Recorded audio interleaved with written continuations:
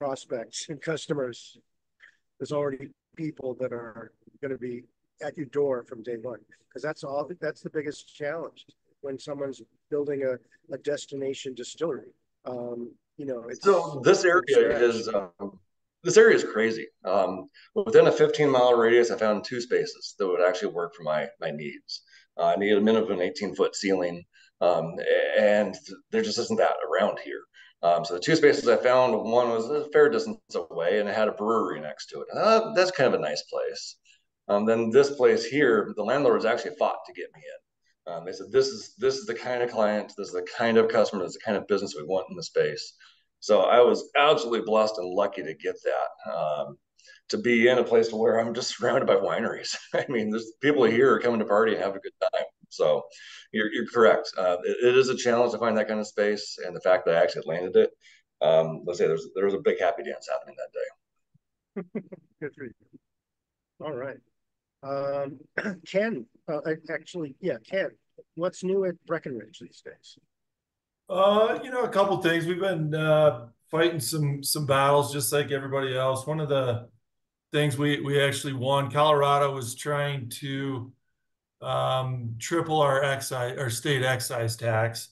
Um, we fought and fought and fought. Um, they were trying to double the brewery's excise tax as well. So um, I don't know why there was a couple senators that wanted to, for some unknown reason, they were trying to push this through. I mean, Colorado's a huge brewery uh, state and, and, fairly large distilling too.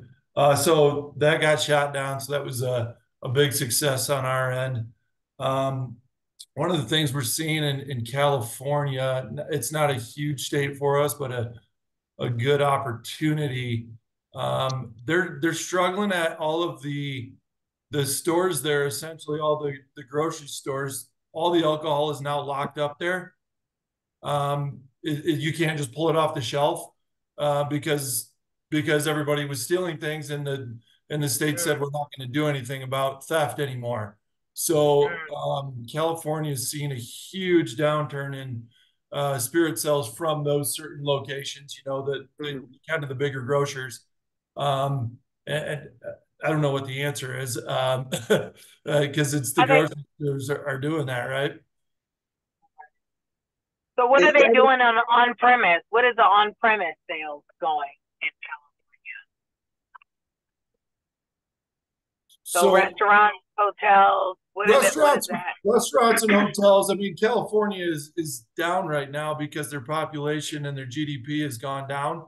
But the on premise is fine. It's the it's all the grocers. They they essentially have locked yeah. up all the alcohol. Yeah, you, yeah. You can't just go pick it up off a shelf like you used to be able to. Yeah. You can go well, DC, DC is the same. DC is the same. We we're feeling a lot of theft within right. our community as well. So. And, and, so that's a struggle. I think you're, you know, California is probably the worst, but um, mm. it's, it's, becoming a problem other places where you just, you know, the, there's no penalty for stealing anymore. So, so the, the stores right. are trying to figure out a way to, to stop the loss. Um, and what it does is it stops sales. It's a lot easier. You, you buy more when it's easily access, accessible, right? So, yeah. Um, yeah. Well, yeah. and I'm, I'm I'm surprised that has no not that I think it's a great solution, but in Pennsylvania the way they do it, where you've got the alcohol literally walled off, where you have to go through a gate, mm-hmm. uh, and that there's a there's a you know a, right. a specific cashier for that yeah. product. That, yep. that makes it a little bit more accessible. You know. Yeah. So I you know this is a new thing. I'm sure they'll get it figured out, but it's it's really hurting um, it's hurting them right now. Yeah. Yep. One other thing, I'll, I'll share my screen here. Kind of a cool little project we uh, undertook here. Um, this is a new. We do a collaboration every year with a different artist. Um, oh, sweet. This is one we did oh, this year. So great label. Um, nice. Abby, this Beautiful. is the artist right here. Abby, she's um, she's got alopecia, so she lost all her hair, and she uses now her um, kind of her bald head as a, a canvas to to do art with. So we partnered up with her.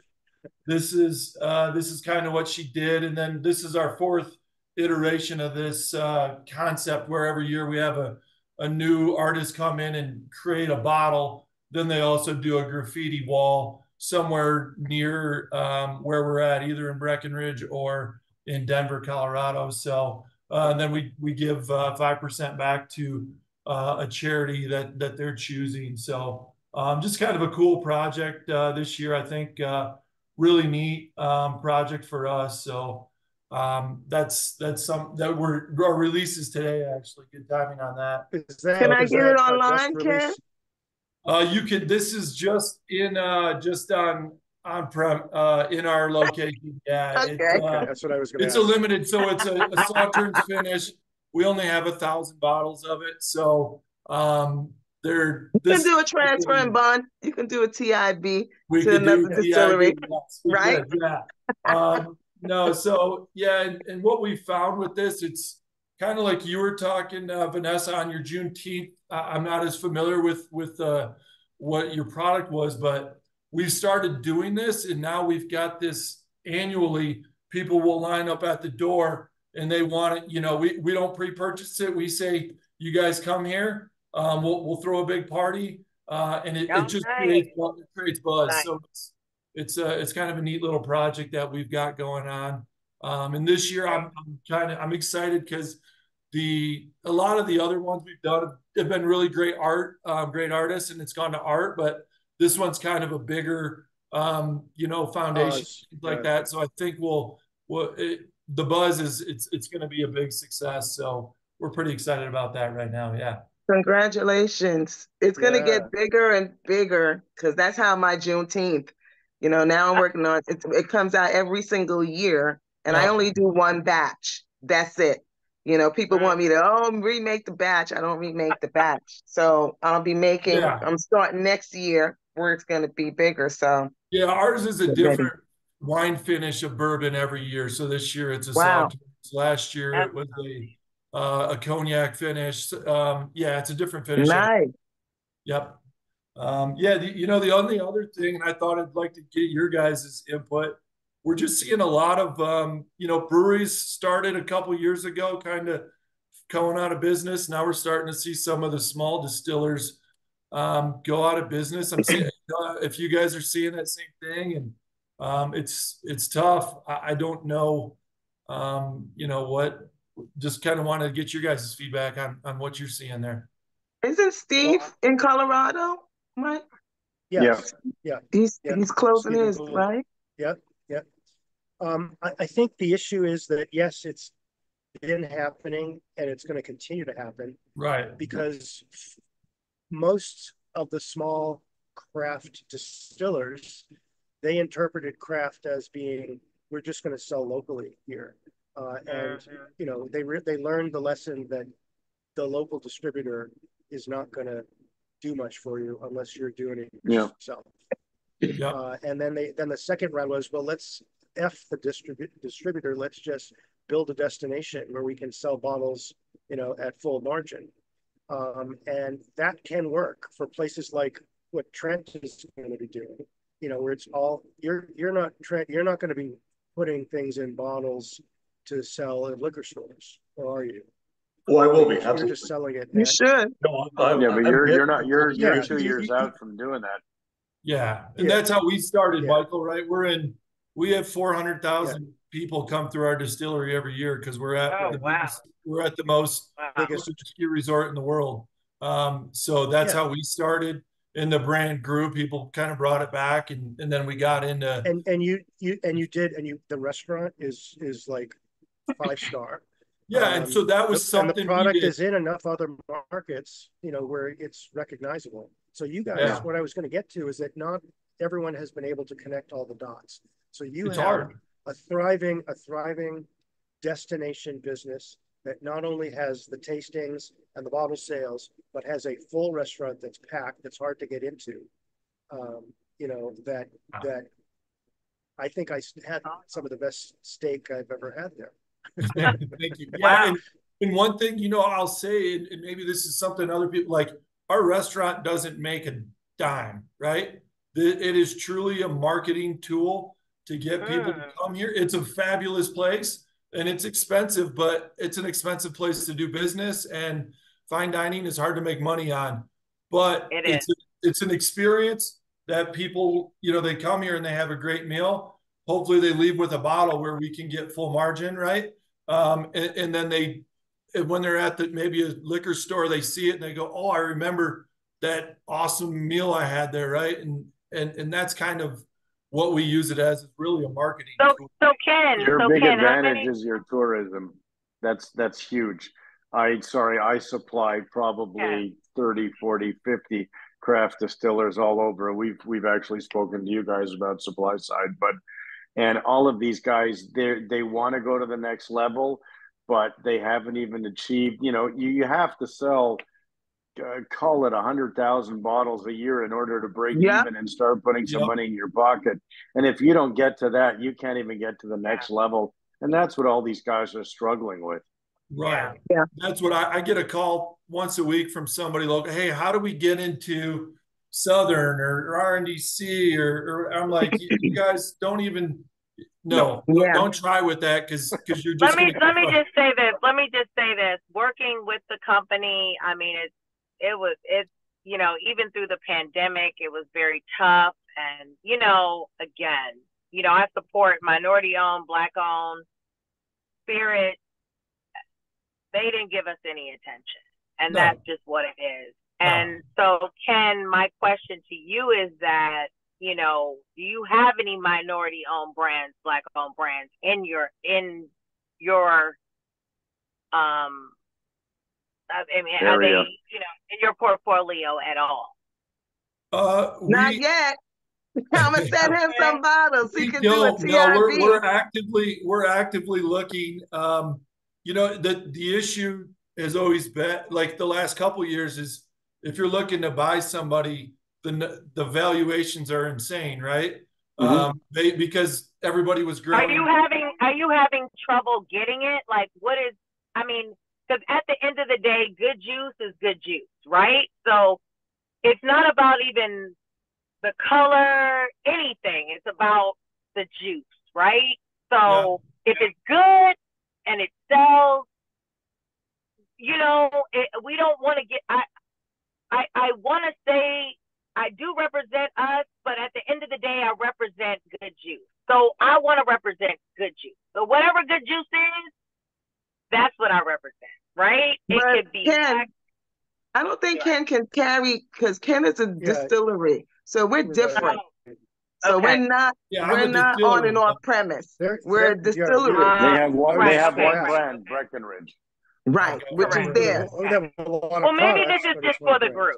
For the group. But, I'm sorry. But we yeah, look I'm, at we you know we've we've done fairly well. We look at buying others. So we've looked at buying tequila brands and and all that, yeah. you know, other other distilleries and things. And um, definitely I think the minority is is a good uh, a good opportunity, good business choice, right? So let me ask you a question, um, Ken.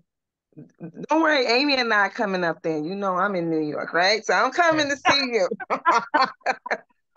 but could you I, I think we can do that here. Like here, okay, for me, I don't have a tasting room. I've always, when I started, I'm a full production facility. So, which is very different from how everybody else started. You know, when I started long ago, it was the distillery and and hitting the streets and the pavement with my pimp, the government, to get into Southern. You know, Southern, I had Southern at one time, and then, you know, I'm with RNDC and other states. So for New York here, which is great, New York, DC, and Maryland, I get to sell direct to, you know, on an off premise with the out of state distiller's permit. So now I'm opening a second place so I can have a tasting room and a destination location. But I'm seeing a lot of the other distilleries, like the ones in the Finger Lakes, they're going out of business. So I'm buying some of their equipment because even though they had the destination, they didn't diversify. See, for me, I was forced to sell and hit the streets and do it the traditional way that way and and have customers Right. Do you, you know, and now we have DTC. We were doing DTC anyway through the retailers because it was out of a necessity. Mm-hmm. I think a lot of the um the ones who were going out of business, they didn't carve out different compartments within their distillery to bring in additional money, you know, because it was necessary, you know, at that day. You know, do you see Breckenridge having all of those compartments? Is that what's made you guys successful? I mean, because yeah, I do 10,000 nine liter cases a year just here. So imagine when I open up my tasting room, which I don't have. I'm hoping it doesn't take away from that. yeah. So so I'd say what one of the things we did, we hit the street. Colorado, you can only distribute, we could self-distribute in Colorado. We did that for a while and, and grew. And then once you get, once we got a distributor, they kind of said, you're not doing that anymore. If you want us to to help you, we want that money. Um, so so we don't self-distribute anymore. Um, but yeah, we hit the streets hard and um, and and we kind of grew, you know, guerrilla marketing, and we grew big like small chunks locally. We didn't try to expand nationally in the first year. If you uh, like, to me, that's the the worst thing you can do probably because it's it's going to cost you so much money and and um, sales no marketing, all that. Yeah. Um, right. Grow that brand local, and then you know once you kind of build that base. To me, I'd say work with the small distributors in each state. Don't try to go to one of the big three because you're not going to get their attention, right? Yeah. I, am fairly large and I can't get their attention. Um, you know, I'm one of their biggest brands at, at, at these guys, and and I can't get their attention.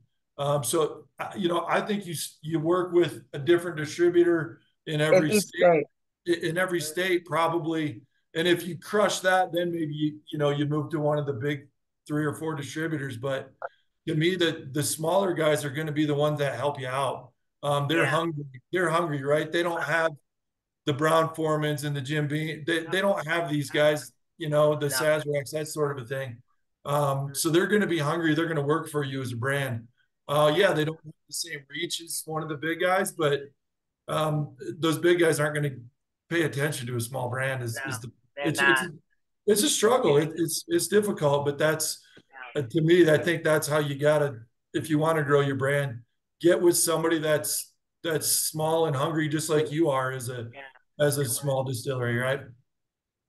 Yeah. Well, there's and, several of them that are going out of business here, and that was also the reason why the DTC got passed. The direct to consumer got passed. Right because we have a lot of distilleries that went out of business upstate. And it's not even expensive upstate as it is down here in, you know, New York, in, you know, Long Island, you know, New York, Bronx. It's not even so there they really suffered. And I'm talking about they spent some money. I went to to Brooklyn, a distillery went out of business before they even really started in Brooklyn. I bought their tanks at auction, you know. So I mean, I got it at a great price, but it was just disheartening to see that you know they got investors' money of how many um, millions of dollars, I would say, and they did a whole build out. And here it is. I'm, you know, picking up, you know, 2000 liter tanks, additional ones, you know, you name it. So it's tough. Yeah, yeah it's tough because interest rates high and investors are not as open with their checkbooks right, right now. You know, it's yeah, it's it's um, you got to be smart with your your money right now. And I'm also starting to see uh, the consumers are are spending less too. They're going. So I have a yeah, I have a value brand. I have value brands, and I mean I'm getting calls left and right for my one seven fives. You know, so Mike, you know I'm the one seven five lady. Yes, indeed. Um, I, yes. I think that I think that the the whole trading down uh, has been a big uh, shift for the past six months, or maybe actually more, the past year. Uh, really started later in late, you know, started yeah. in 23 uh, with all the inflation issues and people were just, uh, I'll buy the, you know, the lower tier. uh, where the opposite happened coming out of COVID, which was people were buying the more premium because they were bored. and They felt like they had some money Yeah. after they hadn't gone out to dinner for two years. Um, There she is. I'm so sorry, is guys. I hit traffic on the way home. I'm- I figured better late than never. I could at least pop on and say, yes, yes. Hi. Welcome. "Hey, Vanessa, Hey, hon, how you doing? I'm good." That's good. You, mi- I, we got to talk. Uh-oh. I oh. gotta come see you. When I come see you, I gotta see Michael too, because I can't step in Yes, Georgia and then not just see you only and not. That's right. That's Oh. right. Exactly. So Carrie, let's see, you missed a whole conversation earlier about um, no alcohol wine in New York uh, state laws. um, and also, well, you'll have to watch the tape because we had a very interesting uh, participant who has invented um, an alternative to Are you talking? Are you talking about me? Are you talking about me, No. Mike? No, not, not you. No, Oh, okay. I, you're, you're be next. First, I was talking, I'm gonna talk about Marcel because I thought that was probably the most fascinating um, person we've had in, in a bit. He's back. Yes, Uh, Marcel. Listen, Hey. Harry would love you. I know. Where are you now? I, I love the things, you know, and if they taste and uh, you just see my uh, the little warehouse here. It's uh, this is all vodka. It's I don't know, thousand liters, uh, ethanol, uh, so clean. So it's I don't know, thirty three thousand bottles. you know, it's Oh, wow. where are you? Oh, I'm in central Switzerland. For you, central Switzerland is maybe central New York. It's not big, you know, Switzerland. Two and a half hours each direction. I have borders. So uh, in. So from my terrace, I see all the Alps. So um, uh, 12,000 feet mountains surrounding my apartment. Oh wow. Wow. Beautiful. Maybe we should do a field trip there instead of Here. I think so. right. Well, well, I think, I think Marcel, Marcel has been so convincing that he's gonna have to package up some samples and send Yeah, them our way. What's That's what I special was about your vodka? I know you don't. Everybody doesn't have to repeat everything that I missed, but what's special about your vodka that you're so convincing? What's what? What's what's He ain't you making here? Vodka. Look, Tell, tell her, Marcel. And uh, uh, I don't know how to call it at the moment. A liquid I call Alcosent that you can add to any hydrolat you do. So you can make alcohol-free, distill something with water, with water. Oh, and um, you just add Alcosent called a liquid from me. It's ve- vegan, 100% vegan. It has zero point, and in my Alcosent, uh, yeah, if you it have has zero what? Sorry, you broke you. Alcosent, uh, alcohol, Oh. So it's no alcohol. alcohol, but he says that it not only is it the uh, the mouthfeel and the sensory part of it, that it actually people feel like they're a little buzzed. ah, it feels no, no, it, it's even better. Sorry, it's hard if you didn't taste it, but it's better than drinking alcohol. Why? And from feeling, you have more feeling. You can drink five gin tonics. You are happy. You're drinking it. You have the same feeling with alcohol, but you don't get the bad. You know, like you had drunk too much and you're rock, walking around, oh, I'm fully drunk. Uh, you know, same uh, uh, All right. benefit. Is well, I, you I'm- gonna you gonna send some samples. We want Yeah. samples. this is an Aperol, like Aperol Spritz. Yeah. I Yeah. actually uh, need uh, 70% less sugar than Aperol, 70% less. And I added strawberry. It's a bitter orange and strawberry Aperol. It, at the moment, it's the most. Oh, wow. And then I have, but I'm not want to sell only my brands, you know. I just create things that people can taste. And this one has one to one rewritten the res- recipe. So the same recipe I have with alcohol. It's in this bottle. Just to go to here. Here is the the bottle Aperol bottle with alcohol, with 15% alcohol. And this is the same recipe used with my technology, with my data and everything, how to rewrite your recipe for alcohol free, made alcohol free. So I didn't develop it. I just rewrote the recipe. So I have an orange gin, alcohol free. It's with orange and raspberry gin. it's the second most sold bottle I have at the moment. Even one, like I told you, one bar, a small bar, you know. So were you like- a store? I don't, I'm sorry, because I, I know I'm late. I apologize for asking all these questions. Are you a distributor or are you a store or? He's, he's an inventor. He's the producer of the, Ah, of the, okay. of the core. And he's a ingredient. rocket scientist. Oh, That's right. So, so it is rocket science. Yeah, yeah, yeah. yeah. Everything I learned for rocket science, you know, how to do research, how to document my research. This helped me to get there. Yeah. Hmm. and uh, to, you know to uh, research how to start um, processes and my thing was to replace alcohol and how to replace alcohol not make alcohol free because alcohol free will never taste i cannot get it I, I, I look to any label and i can tell you anytime if it's with tasty or not just by the label of the content uh, and the nutrition table i could tell you if it tastes or not i don't have to taste so it's really So that's alcohol free, just on low alcohol.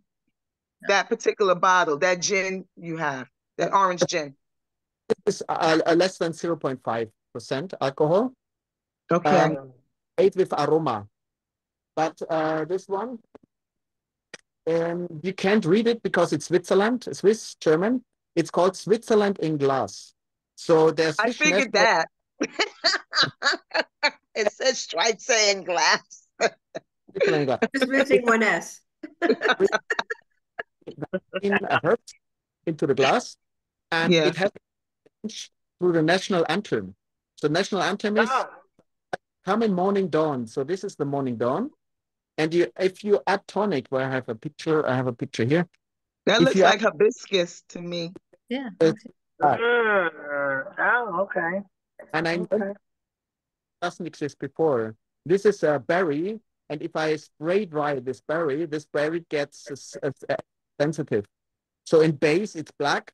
In neutral gin, it's uh, like morning dawn, Bordeaux brown.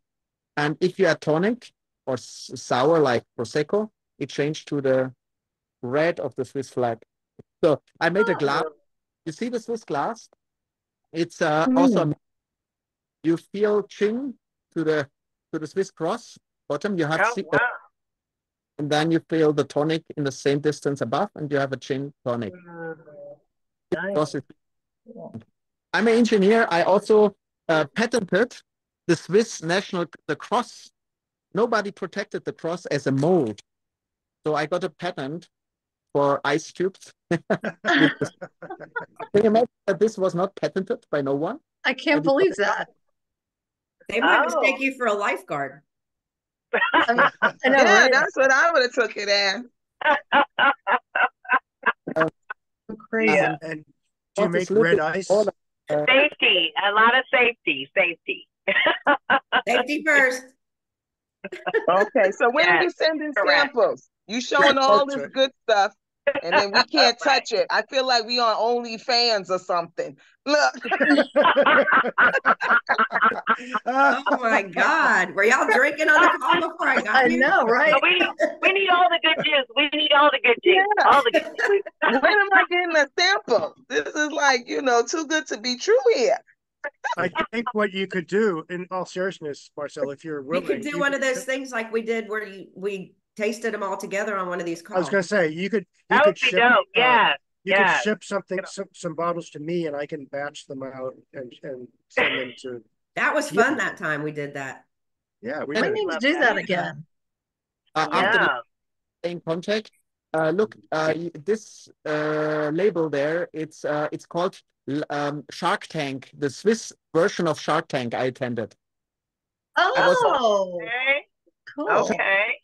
The last season there, and I, I presented that I want to develop because I was not finished. I want to develop my uh, this is exists as a dry gin, London dry gin or a dry gin, um, and I want to develop this with alcohol free. And I validated my company at that time. It was one and a half years old, the company, with one million dollars already. Wow. I just uh, validation on a spirit brand in all Europe Shark Tank shows. But I did Okay.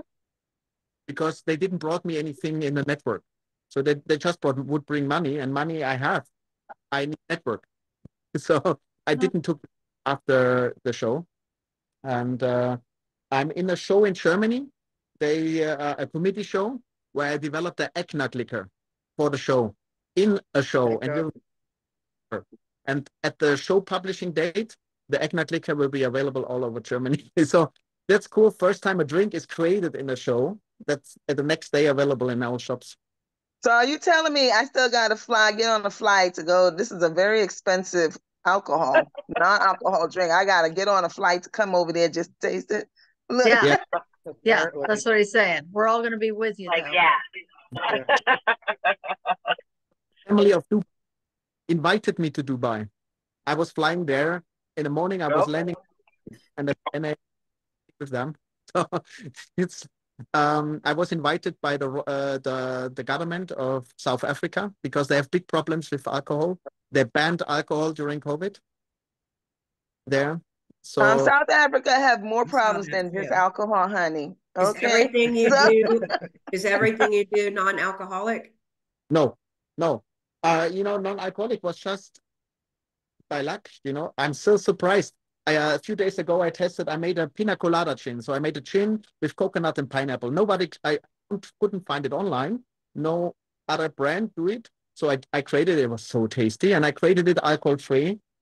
And uh, yesterday I drank it with a friend, and I said it tastes like alcohol. It's so fantastic. I'm surprised by myself every time I use it. I drink it. You know, still, uh, it's. Um, I didn't believe get to this point. You know, I never started to get to this point customer asked me, uh, with my knowledge, please create one. And one customer paid me to develop it mm. and deliver. And it didn't work. It didn't work for weeks. It didn't work. And then I, I told the others, I left it on a Friday evening and I left the, the samples. And the next Saturday in the, in the noon, I went there to want to throw it away and clean it up. And I uh, started to test them and suddenly they tasted like alcohol. So you have to give it a rest between 12 to 24 hours till it tastes like alcohol. The first course I can guarantee you it tastes like shitty nothing. okay. Is that Pixie that's on there? Who else is here that uh, I think go? Pixie's has her AI uh, recording going, so she can catch up on this later. Oh, what was the video that I have to see? The recording of this session. Oh, okay. Well, you, but you just you just relived a bunch of it. It was it was what, just, what yeah. Marcel just shared. If you come to Switzerland, Zurich is the airport. It's not far, uh, but otherwise, you know, uh, at the moment I'm producing the first uh, ton of this. Uh, uh, so it's I think two thousand pounds something I produce of Alcosent one and two. So one is for distilled gin, one is for aromatized gin, and I try to get the production running uh, the other hand, I would need network. You know, I don't know. How, I want to be worldwide available in two in, in the next two years that everyone so, can use. I, I don't think you heard my initial question, but so is all these things that you're doing are they on on on non-alcoholic or did you start making with alcohol and then these people asked you to create non-alcoholic?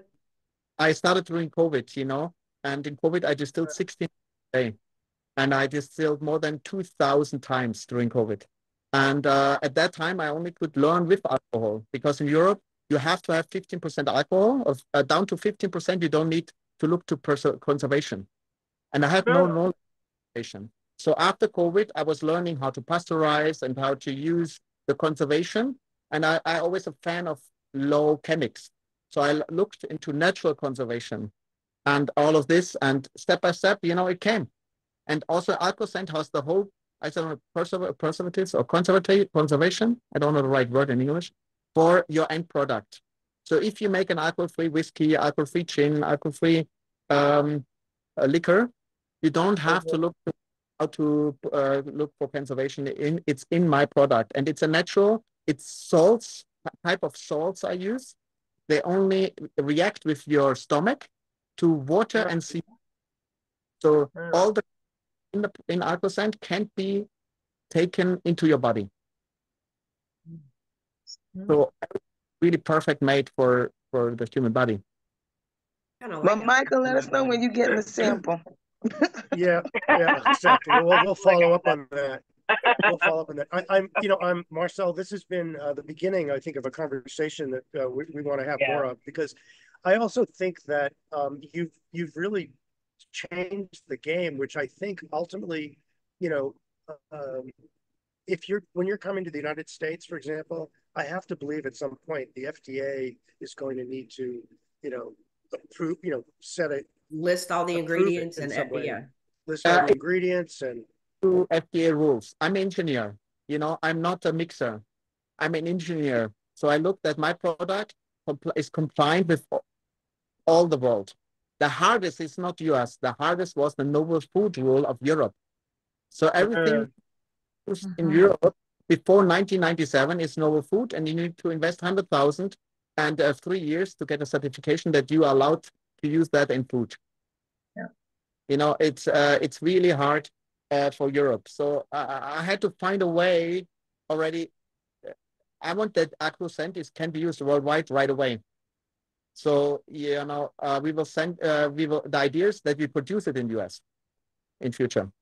I find a partner. I already have. I'm also a shareholder of an engineering company, and we already engineering for a factory. What type of engineer are you? Because I'm a civil structural retired engineer. I went to oh, engineering school. So yeah, you can... being an engineer ain't no damn big deal when you got two of them in the room. Okay. Because yes. I can find the moment of inertia the same way as you can. Burger engineering, Niederberger. What type of discipline are you? Uh, we uh, uh, look it up. We do uh, machine technology, machine, yeah. Mechanical? Mechanical, yes. Okay, my husband's a mechanical engineer too, licensed PE. Look it up. We all engineers here. When we did, when we making liquor, we all engineers. Absolutely. all right. Well, um, uh, Marcel, I'm going to follow up with you. Yes, um, please. With an email. How did Marcel so can... find our group? I'm just curious. Through Michael Clan, I believe Michael Clancy. Okay. Oh, that ah. it's oh okay. Where is Michael? yeah, he, he said he was going to be away. Yeah, yeah immediately. yeah. Well, Marcel, thank you. Um, we appreciate you've given us a lot to think about. Yeah. Uh, thank everyone here. Um, Attila, uh, did you you were yeah. uh, do you want to add anything to this convo? No, I'm I'm more intrigued by what he's doing and and and what kind of what kind of authority he's going to fall under. Is it going to be the TTB or is it going to be the FDA? yeah, right, exactly. It's going to take a long time. yeah, yeah. All right. Well, everybody, thank you. Uh, our next. I'm sorry I was late, guys. I apologize. August What's 2nd, our next meeting? No Duty call. August I'm 2nd, first I'm Friday. thankful to be on the meeting, everyone, and thank you guys. Like, this was very informative. And thank you, Vanessa, again, for putting me on this call. And I'm just very appreciative. Thank you. All right. And Trent, keep us posted. You said you're a couple weeks away. So, you know, we need an update. Okay. and Ken, we're coming to see you. Ken, I can... I'll take care of you guys. Okay. All right. Thanks, everybody. All right. Thank All right. You. Have a good one. See you. Bye. Bye. Bye.